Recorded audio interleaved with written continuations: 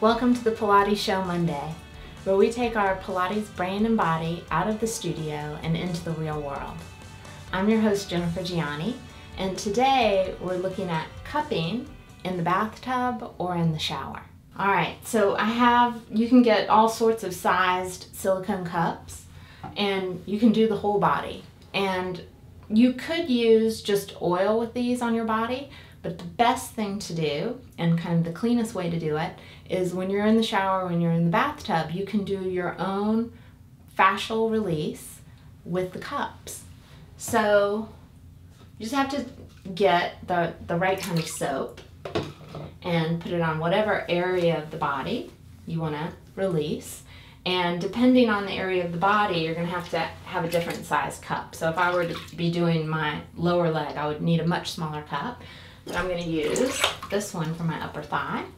And I'm going to create suction. So that's really attractive, right? But it's, it's good. And then I want to slide this tissue. And I mean, as you all can see, this is really good for my IT band. Right? And then I can also notice if there are places of resistance, which I'm feeling up here. So I can let it go and reattach it and do a little bit more. I can also let it sit there for a moment um, just to kind of create some circulation and to, to get that layer kind of unstuck if I feel like there's a little bit more resistance there. And then after, just do a little bit of flossing, maybe a few inches up or down, really to, um, to just pay attention to that area a little bit more. All right.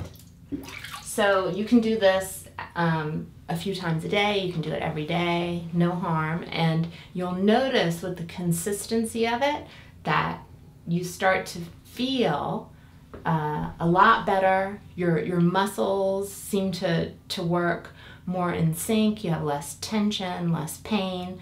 Uh, but it does take consistency. So you have to do it and consistently do it, especially in the area that you're concentrating on, for at least a few weeks. But you'll definitely notice differences. Thanks for joining us. We'd love to hear from you.